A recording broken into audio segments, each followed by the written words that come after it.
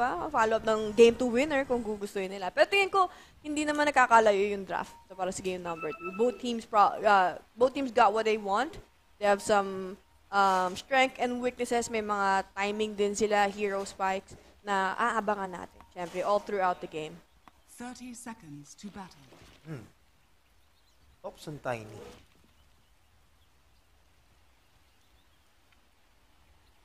Ano ba ito, Ishi, makakapag-scale kaya yung Spectre dito? Into this game? Kasi ano eh, may ayoko naman i-compare i- sa big. Alam, nakita kasi natin si Ame, nakita mo yung Spectre niya dati. Sobrang aggressive scaling with, um, ano bang item yun? Nag, nag-earn ba yata siya under diffusal build? I, I forgot exactly. Pero, pwede ka kasi mag-scale dito eh. And yun nga, may, maganda yung catch mo. 'di ba? You're going against uh, uh, Earthshaker and NP. Like yung dalawang yung dalawang hero na yon, kaya na siyang i-punish ni Spectre pag naka-item. Saka yung laning phase ni Spectre, sino makasama niya dito? Si Silence. I guess that could be quite problematic. Ooh, tatapatan ni Ana si Spectre. Ay, yung umiwas. Nakita pala din nila. Oo. Kaya sila, nagla- kaya sila naglapag ng ward doon sa may triangle eh. Itong side ng Extreme Gaming. Pero yun, no, akala ko si Seper ang magiging kasama rito ni Ana pero... Pero mukhang di, ma- ito yung napansin ko ngayon sa patch natin, Ay, no? hindi, Kahit na, Okay. kahit na may mga teams na nag... First blood. Oo, wait. Nandun yung Venomous Gale. Silence, sa pababa nila yung health dito ni Old Eleven. Let's see mga kaibigan. Nandun yung Fisher Black. Mukhang maging successful yung T1 para makuha yung first blood. Nakukuha pa rin ni Ana. And the first blood of the game is brought to us by Rivalry. Register using our link rivalry.com slash and use our code upon deposit tupon WXC. No? Nagtago, nag-Fisher, nakapatay. Oo. Di saka kasi siyempre, pabor kay Coco yung equilibrium dun sa safe lane eh. So, kumbaga yung mga ganyang klaseng first blood, sobrang gandang gawin yan. Saka, ano kasi silencer din kasi kasama mo wala din ginagawa sa lane yan eh. Parang iba ganun yung mga hero ni DY, no? Pang mga ultimate lang. Ancient Apparition Blast, tapos Global Silence, di ba? Oh, lumipat na nga si Kuko. Madali nga naman, no? Tapatan Oo. talaga niya, no? O may teleporting kasi. Mas tipid. Pero bago baba si Ana, maganda-ganda yung nangyari sa, sa top side. Maganda yung nangyari sa kanya sa top side. Nakakuha agad siya ng first blood. Kita mo, level 2. Isa akin clip equilibrium yung isang buong wave na solo ni Kuku sa okay na siya. Ah, okay. Baka tinry lane ng T1 yung taas, naka, naka-establish naman na maganda si Kuku. Ito ngayon, sa, si Ana nakakuha din ng first blood. So, kita mo, ma makukuha niya na agad yung rate band niya. Ipat bahay portion ang gagawin nga nila, no? So, naging try lane itong baba. So, bounce out lang si Ana sa kanyang slurk. Tanong, iiwan ba nila si Old Eleven dun sa taas? Kasi mukhang hindi pa din nagro-rotate. Si um, EYW at. Kasi si Silencer nag-TP doon sa bottom eh. So, Oo. I guess, Extreme, gusto na i-punish ngayon si Ana? Natay lang yata nila yung TP eh. Kasi nag-TP pabalik ng Tore yung ano, di ba? Mm. Yung TP kanina sa may top side. Siguro i-rotate nila. Or, maaaring gawin nila, try lane na lang, no? Oo, but yun nga eh. Kasi mukhang kung magiging okay naman yung lane, kung makakuha naman ng farm si Old Eleven doon sa DP niya, yeah, as well try lane. Oh, speaking of try lane, ako po. Low health si D, D, D, DY.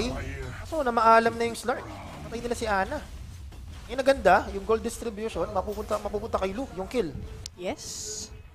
Yes, yes, yes. I mean, ganoon naman talaga eh. Kapag nag-try lane ka, you have to win your lane. Kasi sayang naman, nag-try lane ka, kung hindi ka naman kukuha ng kill, kung di mo na ipapa- papanish yung katapat mo, bakit ka pa nag-try lane, di ba? So, that's a really great pick on side ng Extreme. Um, yun nga lang, kapag nag-try lane ka, pwedeng mapanish yung iniwan mo mag-isa. Oh, speaking of, ito na nga, Venomous Gale. And nandun yung right click damage coming from kay Ana. And Lu tumatakbo, kaso kukontrol nga siya rito ng pounds. Change target si Ana pamunta dito kay PYW. Tumamuna ang halos dalawang hit doon sa may slurk. Pero, safe naman sila under, underneath din sa may tier 1. Ang ganda nung... Aray, Okay, sure. ang ganda ng block. Hindi makawala, no? Oo. Three hits si Kuku. Again, another kill for the side rin ng T1. Grabe si Kuko mag-NP. Oh, 16-12 yung... Uy, bumalik! Ay, Diyos ko po. Ito na nga yung pounds. O connecta. Lalapit si Lu. Nakapag-sustain nabuhay, ng bagya. Si PYW. okay na. Yeah, 4-1 agad for T1. O nangunguna agad sila dito sa uh, kill score natin. Yes, and stocks, and stocks for Slark. Oo, two kills na yun eh. No? Or Early stocks nga yan. Pasok sa agility. Dati pasok sa Bloodstone eh. Ngayon, iba, Ah. iba na. Pasok na sa agility. Sa kabila naman, int, int naman yung sa silencer. Ah, no? sa silencer. So, si, so, si Old 11 ng game number 1, medyo tahimik eh. Tingnan natin kung itong game number 2 mag-step up pa siya. Kasi kailangan din talaga eh.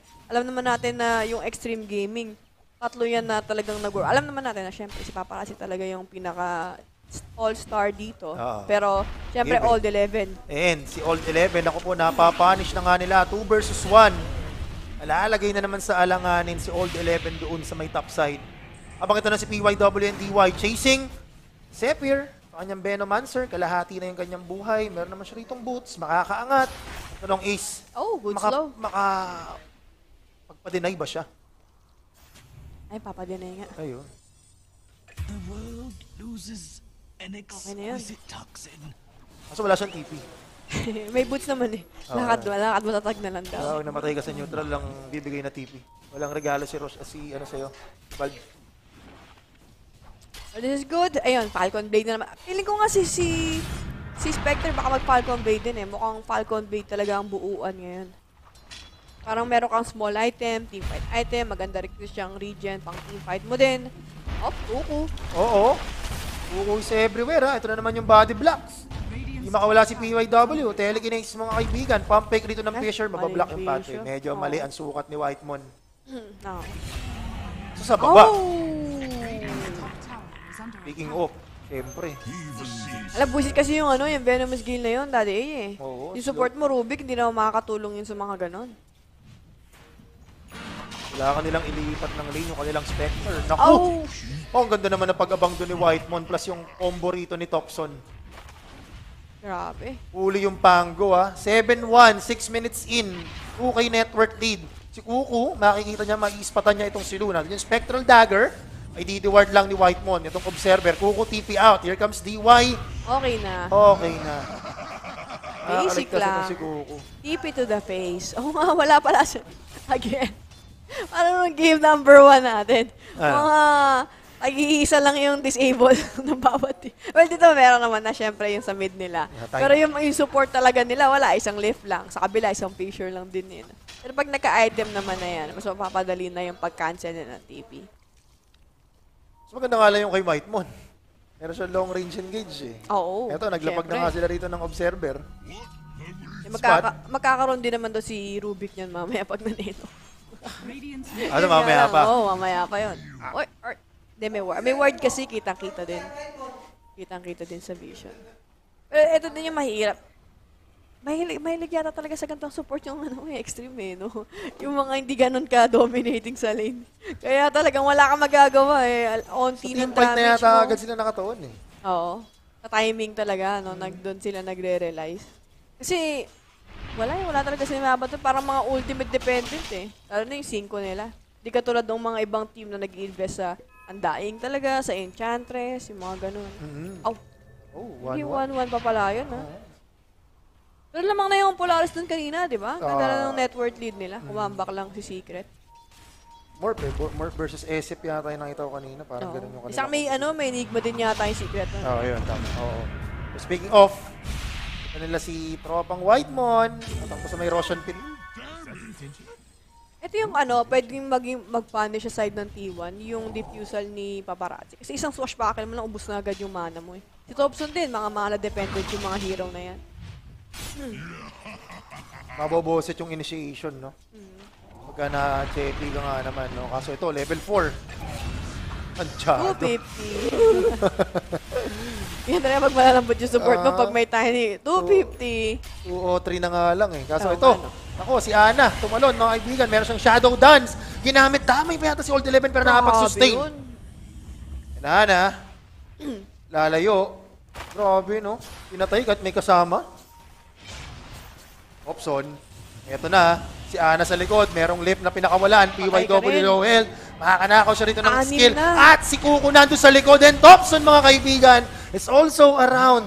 Paano siya itong off lane Anim ng na. extreme gaming? Anim na, Daddy A. Ang, ay, pito, pito, Pito. pito, na pala ang permanent agility stacks dito ni um, Slark. Only 9 minutes into the game. 4K net worth lead para sa side ng T1. Grabe. Oo, susundan pa niya. Everything is just according to fan. Everything is just going way too well para sa side ng T1. And ito pa isa pang kagandahan. Nako na block na naman. Eto na naman yung combo. Mabubuhay nga ba? Nandun yung kanyang shield crush mga kaibigan. Paparazzi. Survive. But swash back. El papunta sa high ground. Yeah. Spectre, di naman ito mabilis mag-farm ng Ay, jungle. talaga, oo. Oh, speaking of harassment, nandun yung Durare ito ni Zephyr. Kukulungin nga nila dun sa may Sprout. Pero magtitipi mga kaibigan. Exorcism ni Old 11. Kailangan nilang tumakbo. Spectre with the hunt. Kuku with the TP out. Ay, nasagasaan. Nasagasaan. Rolling Thunder right on time. Kaso nandun yung lason. Namatay nga lang si PYW. Eh, sayang si Kuko kasi namatay. Sa- Isip ko sana pwede silang mag-trade, ah, pressure yung mid lane, pero mukhang, ay, na, naispatan, invisible. Oo. Oo, lalaro sila dito, tinan mo. May Sentry. Dire's top tower is under attack. Alam? Radiant's bottom tower is Di, under nag, attack. baka akala may nagja-jungle. Or aantayin may humay ground. Ito ang dilaw. Si... Hindi niya ata masasolo to. Yata. Inulti yan. Hindi sapat. Alam-alam ni Old 11 may ward. Oo, alam eh. Di siguro akala go go go na si Thompson kaya nag-ulti na si Kuko. Eh hindi naggumalaw si Thompson, wala. Nakita lang may may may someone ayun or something. Oy, oy, oy, oy. Huli si paring Lou. Ihahagi sa may likod. Toss back. Fisher rito ni Tops ni Whitemon. Wala pang echo. Sapat na nga ba? Pero mapag Spectral Dagger out. Lou makakapag-survive. Wala si into strength. Nag-TP yata sa taas. Pinasag din yung follow-up, oo. Sayang, sayang. Wala pa pang echo eh. Kung may echo siguro, baka naging enough yung damage doon kay uh, Spectre. Uy, yung team speak. Yun, Siyempre, help the stream uh, by sharing our live. Boss Alo at saka si Dayanara Gaming. Uy.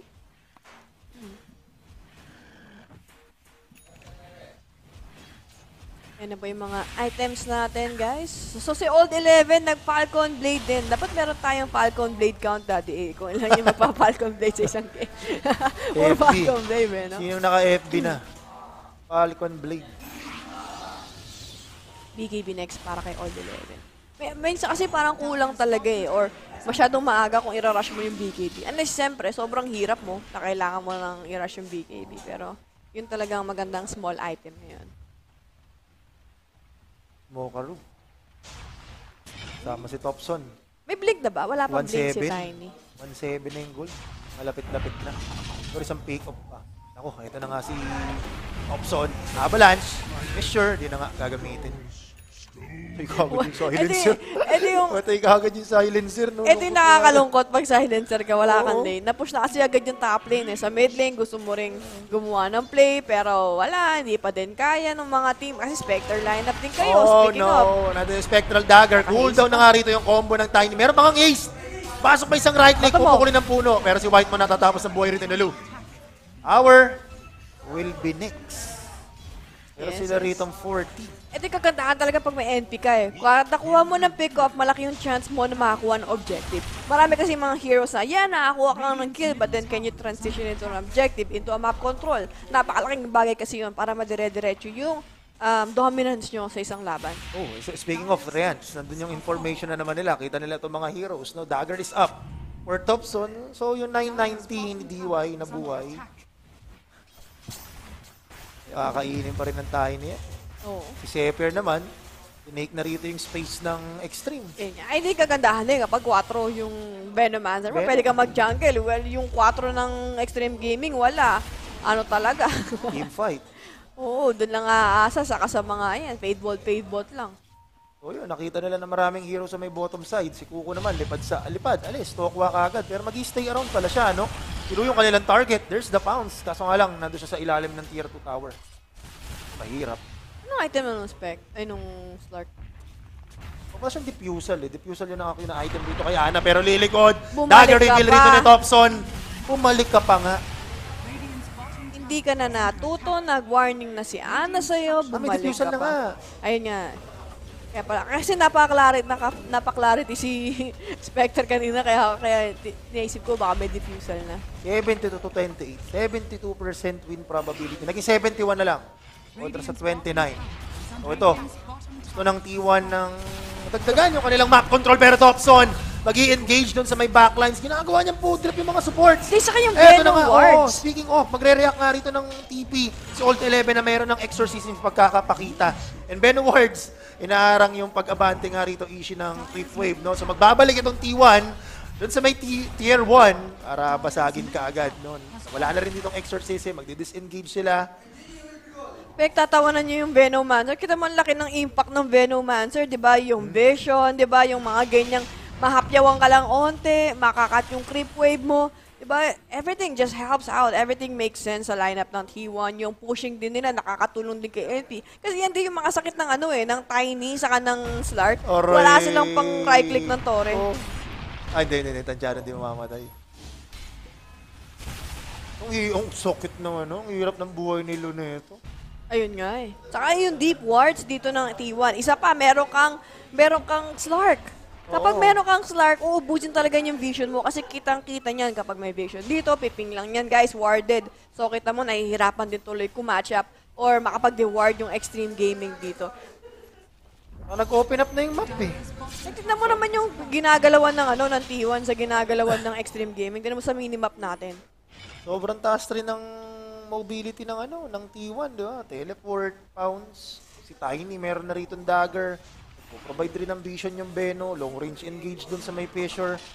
Ang hirap ng buhay talaga nila nung extreme gaming, no? Na Kaya meron na palang 7K network.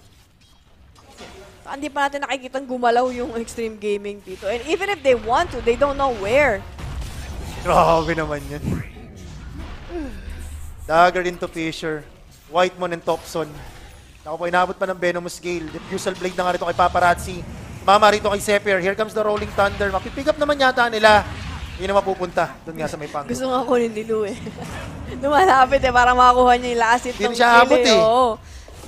Gusto mo, ala, gusto niya ma-maximize sana, pero kapakatagal pa ng Manta style nito. Diyos ko, Lord. Sobrang yaman ng start. Naku. Grabe naman si Thompson, no? Yung pag-bow trip, pero ito na nga, Spectre with the hunt. They're targeting ito si Thompson. Mapapanish yung kanyang pag-dive ng sobrang lalim. Kaya na mapupunta yung kay Kill, kill kay PY Double. Yeah, but they committed. I think lahat ng spells, ultimate ng Extreme Gaming Exo. ngayon, wala na. Hunt. Ubus na yung spells nila dito, daddy. Wala. I mean, oo, namatay si Tiny. Apo, of course, don't get me wrong. That's a really bad trade for T1. Pero wala, you're okay. It's, it's not like makakuha ng objective, makakalabas ng mapa yung extreme game, gaming ito just because of that one kill. EXO nga nila, hindi na nga nila nakagagamit sa pagkuha ng objective. Hindi talaga, hindi bawal lumabas. Nakakatakot. Yung yung yung Earthshaker Fisher kasi dati, kapag na-initiatean ka niya, hindi ka na talaga makakalabas. So, Nakikita ko nga, EXO TP na eh. Naka-EXO na paglapag eh. May interrupt kasi, no? Hindi mo alam, eh, baka kasi mamaya may follow-up na yung ano. Follow up na agad. Speaking of, hindi nga alam ni Lou. Nakapag-spectral dagger nga siya rito. Pupunta ng Dota 12. Oo, yun lang, mabubuhay. Wala, hindi. Meron na rin responde. Nabibitin na rin yung kanilang damage. Si Thompson, mga kaibigan. Here comes the Rolling Thunder, pero ang gandang avalanche. Kaso, hindi nga lang tatama ron sa may isa. Pero nga bang re-responde for the side of T1. Thompson going down. Paparazzi getting yung kill. Grabe yung ganti. yung bawi ng ano, ng extreme gaming eh. Dalawa na si Thompson dun, Oo. I think may, medyo kailangan ng ah, mag-slow down ni Thompson dito sa mga aggression niya. Kulang na Kasi, yung damage eh. ayun na nga. Siguro kung support, Oo. Dapat yata, ano eh, hindi kasi yun, ala, yun ang talaga burst nila, daddy. Eh. Tatlo siguro, kailangan na nila tatlohin. Kaya, kaya na da- dalawa lang lagi eh. Kailangan ng tatlohin ngayon. Mataas na rin kasi yung level, syempre, grabe. Tatlo ng fluffy. triple, triple floppy hat. Oh. Eventually, isa naman dyan, mako-convert mo into four stop eh. Survivability, kailangan niya eh. Oo. Eh, ito, meron nang Aghanim Scepter. Meron pang Diffusal Ako Blade. po. Meron namang Shadow Dance. Bumaba yung buhay rito ni Ana. Naku po, inabot nga siya rito ng silence. Swashbuckle in. yun lang, no? Three floppy hat for the win. Silensyo por pabor eh. Nakakalimutan yata niya merong ultimate yun eh. At ma- pwedeng mag-backup yung kakampi. Alam mo, ito yung pub game mo na sobrang lakas nyo. Yung mga bandang wala nagpipid na lang kayo. Hindi kasi sila makapag-group up din eh. Kasi sama-sama. Hindi, wala na silang ma-pick off, kumbaga. Kasi Ah. sama-sama na yung extreme gaming. Na kada may matry sila, may mahuli silang isa, nandun na agad nakasulpot sa likod yung backup ng extreme gaming. Triple floppy hat. MVP. Kasi nagsalba sa kanya, di ba? Oo, tagal, matagal-tagal siya namatay, di ba? Oo. Oh, usually, isang pounds lang yun, patay na. Pero kung nandun yung Tiny, hindi ganun ang scenario. Ah. Nakapag-antay pa eh. Sobrang mobile kasi ng T1 na kaya nilang mag-isa lang mag-farm and pero yun nga. Ito si Old 11, meron na tong BKB ah. Alam, alam. Ah, angat itong si Ana. Paparazzi, available rin kanyang Rolling Thunder. Global Silence lang, ah, wala. Spectral Hunt, ginamit. At pupunta yung Spectre, mahuhuli nga nila. Pupuntahan niya itong si Whitemon na magti-TP Wala out. pang cancel. Wala naman sila pang-cancel, Ayun, pero sa- dumating yung Rolling Thunder Ishii. May blink na rin pala yun. Kasi yun lang, no, ang ganda na nabigay ng information Oo. Nung Hunt ng Spectre. Pero ano kasi, alam mo yun, napapakommit ng spells yung Extreme Gaming. Pero Dami, wala no? na kasi silang ma... Wala na kasi silang makuha ang objective after. Like yung Roshan kasi din na, hindi din ganun kalakas eh. Season 5 yun. Shard na ba yung si Whitemon? Not sure. Manta style, si Lu. Ayan, buo na. Rubik also, malapit na yung Blink Dagger niya, 1800. So, with that, mas makakaganda na yung initiation at mas makakuha, makakuha na siya. Ito na. Roshan. Not the fastest, but since wala nga spells available yung Extreme Gaming, they should grab this for free. Rolling Thunder, walang Hunt. Walang Exo. Oo, wala. Medyo, I think nakakaamoy na rin yung Extreme niya. Pero wala na silang magagawa. Bigay na talaga yan. Siyempre, Ana, ang kukuha. Eh, blink na rin panigurado si Whitemon, di ba? Kanina pa naman yun. eh. Ganda rin shard. Follow up. Hey, kino mo bibigay? Si Stark pa rin yata kumuha eh, no? Nung, ah, anong... Shard. Ah, hindi, nung ano, nung 80s. Ano? Dyer's Oh, si Shaker. Ayun, nakay. Oh, nag-shard. Hindi, nag-shard yata muna si Shaker. Oo, oh, bumili lang siya ng shard. oo, Ay, hindi muna Roshan siya naman palang... Dagger na yung Rubik.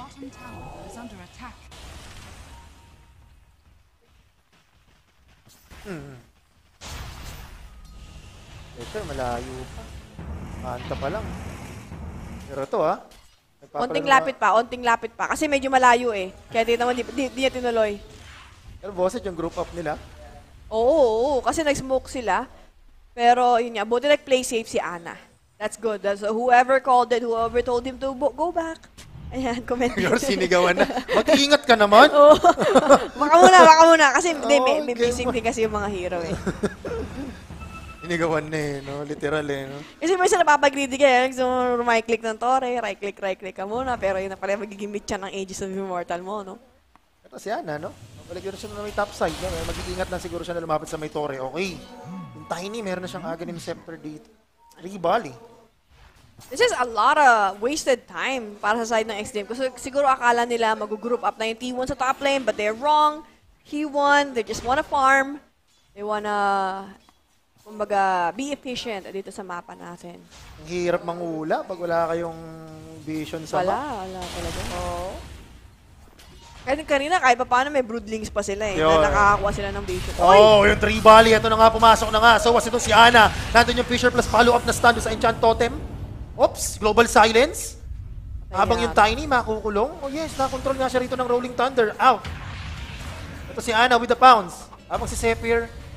Nandun yung kanyang mga Benoward. So maganda pa rin yung team fight na pwede pakawalan rito ng Oy. T1. Nadaanan naman si Whitemon. Na paraya. All 11 with the BKB and the Exorcism. Pounds out.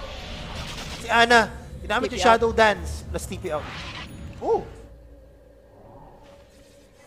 Again, initiation from T1. They just, they just can't finish off yung hero. Every time mag-initiate, kung sino man, nabubuhay na, and kaka-counter go pa sila. And ngayon, I mean, down yung spells again ng Extreme. Can they finally grab something? Kasi may Aegis pa din naman si Ana. I think that's the big part. Hindi nawala yung Aegis of Immortal niya. So, pwede sila mag-group up ulit and then finally maybe can take down a tier 2 tower. Hmm, tingnan natin kung paano ang gagawin nila dito. Pero ang ganda ng global silence, no? Hindi na sila ganun kadaling mag-burst. Oo. Ito, sa gitna. Radiant's bottom tower is under Si. Old 11. Dire's Kaso meron tong pang sustain. At Walang BKB yan, wala pa. si Ana, pinatay itong si DY, Old 11, TP out. Kinomet rin yung Poison Nova. Old 11 nakakapag-sustain, buying time with the Yule Scepter. Kaso nato si Ana again. With the double kill sa kanya ritong Slark. Slark, meron na siya ritong BKB. Bigyan na yan, bigyan na yan tier 2. There's no way they can defend. Alam naman natin na yung Extreme Gaming, they can only play within their ultimates and within their spells na since down yun, wala. Kailangan talaga yun. Whereas T1, ang pinakamalaking naantay lang talaga nila is yung Echo Slam. That's pretty much it. Pero Oh. si Jaker, alam naman natin na hindi niya na kailangan mag-echo. So tumatama yung Fissure and yung mga totem niya with the shard, I should be good to go. Sa team fight, mahihirapan din siya lalo pag nag-hunt yung Spectre. Oo. Mahihirapan siyang i-pull off yung combo. Ganda Pero to, dyan. Mm. ang ganda lang, no? Siyempre, yung ganitong pagkakataon, establish ka ng full map control. Lalo, sobrang maganda yung mobility rito ng T1. Naiangat na naman nila yung network sa 7K. is under Oh. Medyo nag-iibin na nga. I think nakaamoy yata sila eh. Nakaamoy sila na posibleng ah, manggagaling sa baba or nasa baba ang Silver extreme dito. Na. Naku, hindi na-expect ni Luto. Ay, ay, Oh. ay, naku, pa si Don. Dinuraan, nandun yung 3 volley. Hahatak nga siya rito mga kaibigan. Ang pounds. Meron pa rin sila itong Aegis of the Immortal. Si Old 11 na pababa yung health. Meron siyang exorcism. Ginamit yung kanyang BKB. Umiikot-ikot siya, di tumatama. Oo, meron Spirit Siphon. 20 seconds. Nakukuha na ulit yung Aegis. Ito na naman, Daddy, high ground. High ground. Pero ang yaman, ang yaman, sobra. Ni, um, ni Kuku again, once again. And ni Ana this game. While si Lu, lugmok muna yung part. Meron siyang basher. Ah, Oo. Kasi, pag, pag may BKB na yung Slark, parang ang hirap mo nang ihinto yan eh, daddy eh. ayun lang. Saka long team fight. Ang kailangan, so extreme gaming na They have to win yung team fights. Makasecure sila ng apat na hero, ganyan, tatlong hero, or hero, syempre. Kapag nagamit nila yung mga spells nila. Pero pag hindi nila nagamit yon yung turn around ng T1 ang nakakatakot. Wala silang inaantay na spells. Yung long team fight really favors them. So, magamit yung BKBs, wala silang napatay. Delikado ang extreme gaming doon. Eh, yung Slurk, alam naman natin, makalayo lang ng bagya, makakapag-reset na kagad. So si eh, Zephyr, umangat siya sa may staircase niya, mapapunish nga siya. Dami ng tropa ng extreme yung nandoon. Ah, full 5 man pala. May gem, okay. Naku po. May gem pala yun. Zephyr? O ano, ala. Ano yun? Dire's bottom tower is under attack. Sama na tribal. Eh, medyo matagal-tagal pa yung next Roshan natin, daddy eh.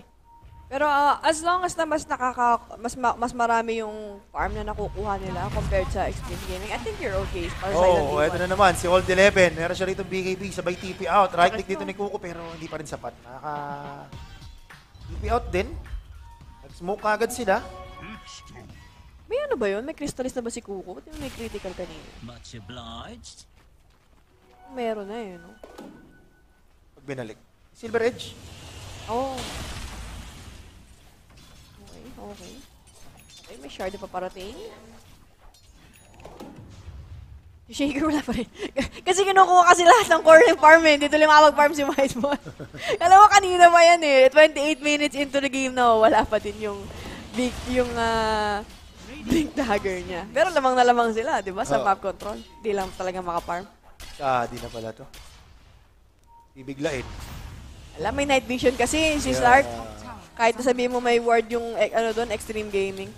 Ang gabi si Ana eh. Ah, Crystallis kay ano, kay Thompson. Bakit yan? Ibalik. Wala pa rin kasi BKB eh. Uy! Oy, pumasok sila. Grabe! Grabe, dalawa ka agad yung nabura doon. Okay, here comes the exorcism plus silence. Yung Tiny Mayuyul Scepter. Here comes Lu. Ako po, Ah, layo ni Ana. Tiny. Yes, yun lang. Pa-farm siya na sa may top side. Cooldown na naman yung mga spells nila, yun lang. Wala Ayun silang na. hunt, wala silang exo. Ate, may pwede yata, pwede yata silang high ground dito. Ang tatanong kung kaya ba? Yun nga, kasi ano eh, wala, ayun nga, walang spells. Ano, um, Bali yung CD. Um, pero hindi ko na-anticipate yung damage ng Tiny ni, ni Thompson, grabe. Na, na, natunaw si Paparazzi. Tunaw yung ano, yung pango. Eh, ngayon, I think kailangan mag, uh, May kasama yata i-enlist. Tree Valley yun eh. Kailangan mag-i-enlist ngayon ni Pangolier. Kasi, ang dali niya na, nakita niya na nakaya siyang i-burst down ng T1 with just one initiation of Fissure. Makakabili lang niya ng ano eh, Ags eh. Ayun nga lang. Or BKB na. Eh, pwede. Ayaw, eh. Hindi, pero Pango kasi. Ayaw mo mag-BKB. Ba't Pango ka? Y- yung Shard. Ito, Roshan number 2. Oh, Yung yeah, Shard, medyo, maganda ma- rin sa Slark yan. medyo maaga-aga yung respawn. This favor so much T1. Dire are scanning. Si Kuko, ganun pa rin. Pa-farm dun sa may triangle habang bilis naman siya makaka-responde dyan.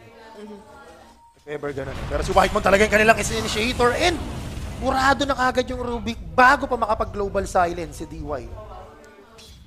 Grabe ni Thompson, yung dami. Kinabahan pa nga ako Tribali, parang... no? Tribali Oh, sabay combo ng Kanina ko, oh, kulang, kanina ko lang na kulang yung burst nila. But with this itemization ni Thompson, Daedalus ayun na yata eh. Sinagot na ang ang kakulangan ng ah, lineup nila, which is yun nga, yung itemization from behind. Kaya nga, like what I'm saying, ah, kulang yung, wala, nag, nasa top lane, nagpakita si Slark dun sa previous team fight kanina. So, Hmm. kala ko, nag, medyo na, parang na-awkward din ako sa team fight ng T1. But since, ah, burst down nila in one go, yung dalawang heroes ng Extreme Gaming, naging okay yung team fight nila doon. Okay. D1. 10k net worth lead. Whoosh! Ah, nakakuha rin nila yung game number 1. Eh, para sa Oo. makaka-tune in lang. Siyempre, Yes. yun, yung Roshan kill natin is brought to you by Vortex. Yeah. For your PC gaming needs, eh, punta lang kayo sa Vortex, guys. Search nyo lang sa Facebook. PM lang kayo dyan, guys. Mm-mm. Very, very close na. Saka ano, ito yung kagandahan ng gusto ko yung itemization ni, ano, ni Ana, di ba? Yun na pa sa kanya, yung ah, BKB. Pero since nakikita mo yung pace ng game na hindi mo pa kailangan ng BKB, you can get away. Pag alam mo na pag namamatay ka na sa mga next team fight or sobrang dikit na or di kayo manalo sa isang engagement, di niya matapos, na kailangan mo ng BKB. Yun yung usually na kailangan mo siyang buhin. Pero since nakita niya, is able to get in and out easily, kaya kumaga mag, mas magpapatangki na lang siya. Kaya mas inuna niya yung skadi niya bago niya tapusin yung BKB niya. Which is his final item. Ayan, kabubuo lang. Meron ka pang Aegis of the Immortal. Saan niya ba binigay yung shard?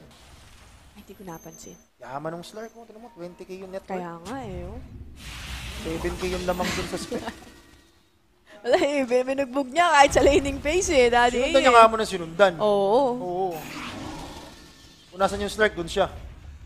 Maganda talaga yung playstyle ng T1 eh. Talagang all over the map, um, early aggression, yan, compared sa Extreme Gaming na wala, timing-based talaga sila. Um, power spike ng mga hero nila. Which is nakikita naman natin, Daddy A, di ba? May mga, na makikita mo yung draft talaga, tumataas, bumababa din eh. Nakakuha sila ng mga magagandang pick-up, amplifies, yeah.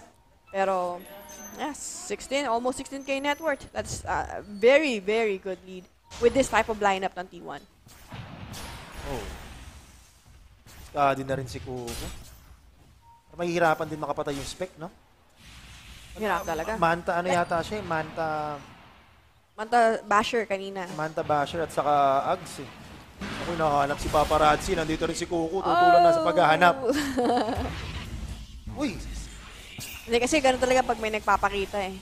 Nagpakita yung dalawang heroes ng T1 sa Eh, may baba. shadow step. Oo. So, nakapag-go tuloy si Luz sa taas. Yung ano, yung, sh- yung shaker dito ang nakakatakot pag nakita.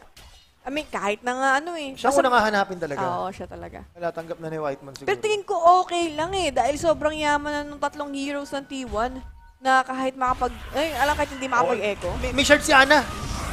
Okay, nandun yung global silence, mga pag-out. Tignan natin. Wala silang vision. Oh, yun lang. Meron Rolling Tinapos Thunder. siya niya, no? Paparazzi. Oh, Uy, ganun! grabe naman!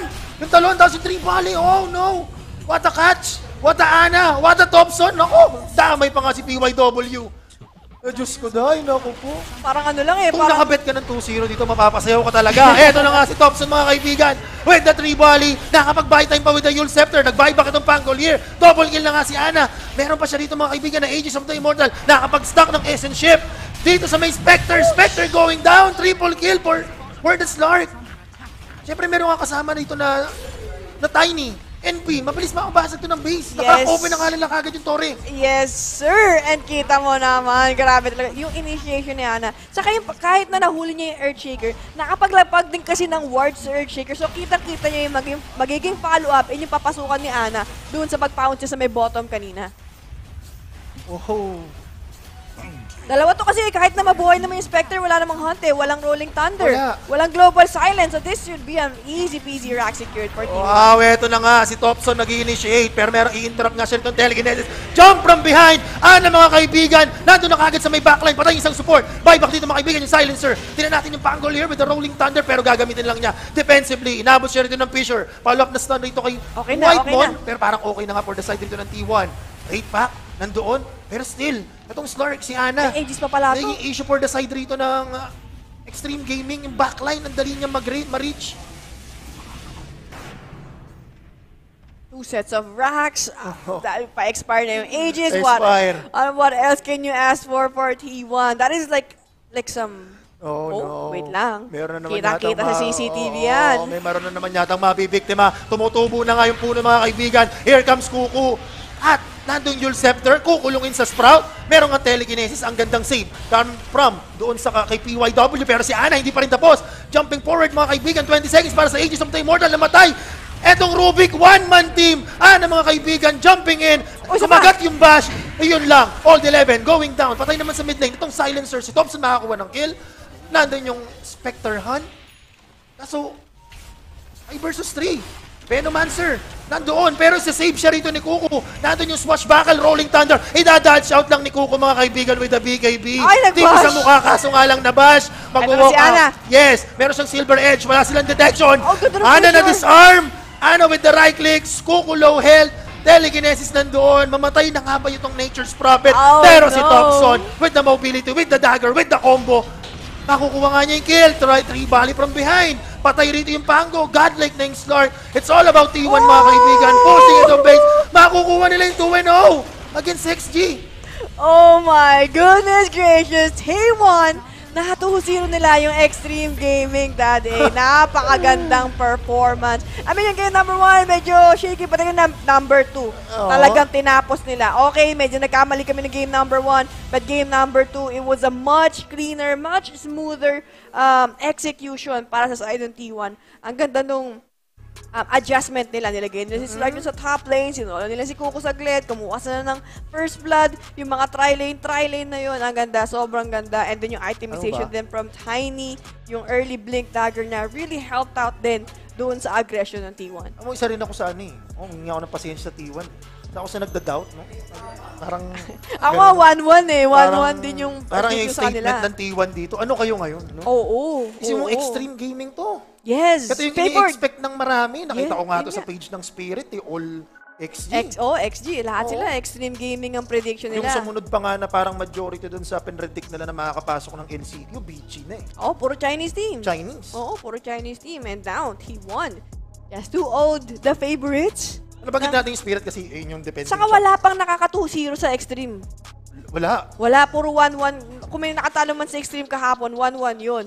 So, ngayon, first time, first game ng Extreme Gaming. 0-2 sila today while he won. Um, ano ang score nila? 3-3. 3-3 na sila after this this 2-0 win dito sa Extreme Gaming. And for sure, with this win, they're going to feel good. This is some confidence Oo, booster totoo. para sa lineup or dito sa members ng T1. Oh, congratulations dun sa mga nanalo ng Oo. 2-0. Yes!